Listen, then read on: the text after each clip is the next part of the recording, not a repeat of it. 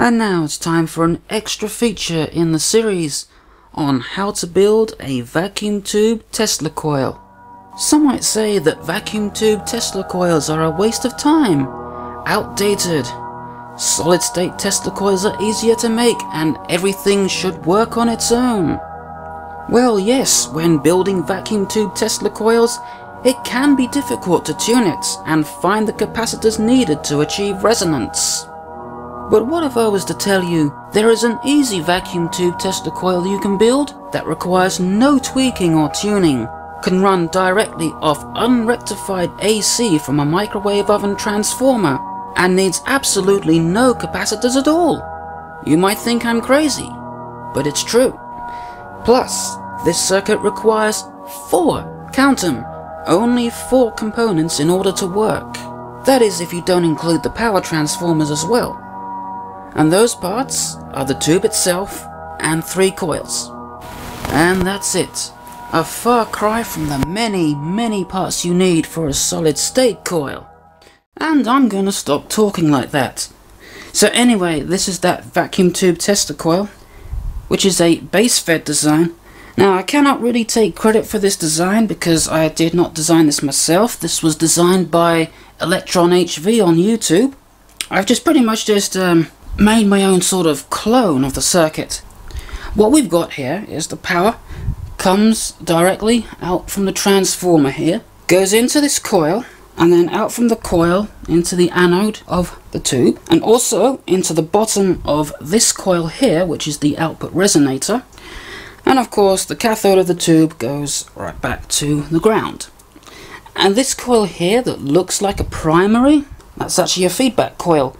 So this tube will act like a switch and it will turn on and off or open and close at the same resonant frequency as the output coil, which in this case is about 1.1 megahertz.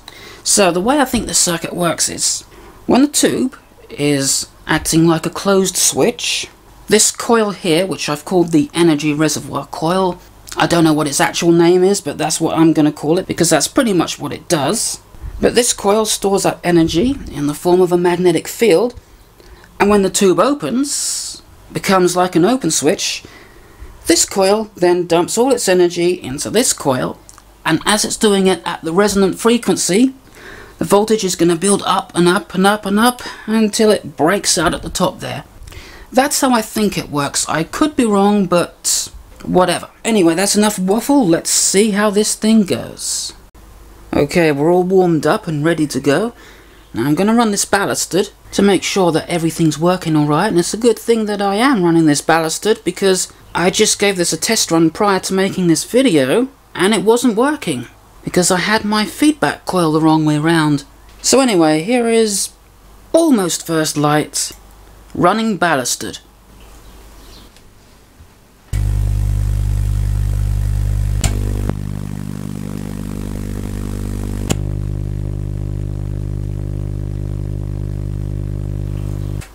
Okay, not bad. Considering this thing is running ballasted. I just had a look at the voltage going into the transformer and I'm only getting about 190 volts, so I don't know what this is going to do with the 240 volts going in.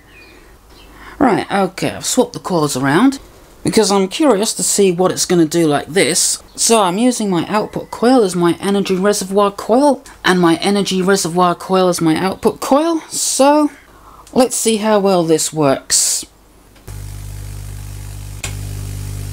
Okay, I don't know about you, but that seems about the same. Although, I cannot really say for certain because we've got a bit spewing out the side as well.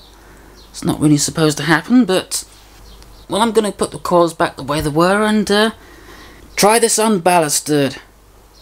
Okay, it's time for the grand finale, or the grand finale, or whatever you want to call it. Time to run this thing unballasted.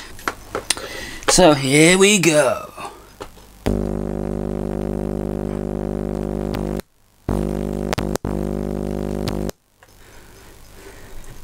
That's just beautiful. I hope the camera got that because, you know, the interference and stuff.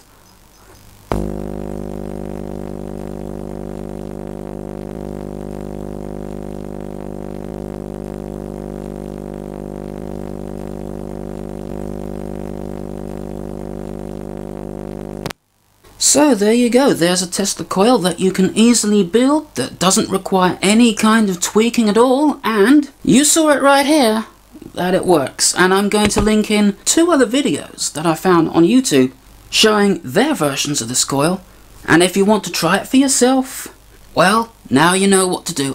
So here it is, this is the schematic. Like I said before, I cannot take credit for it, so, because I did not design this, it was designed by Electron HV on YouTube, but I did draw up this schematic. As you can see, it's really simple. It doesn't even need a grid leak. As you can see, that's just connected directly to the tube there. And running directly off the AC from the transformer. So, um, there you go.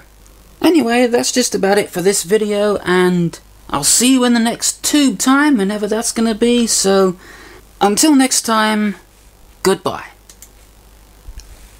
Oh wait, I'm still recording, aren't I?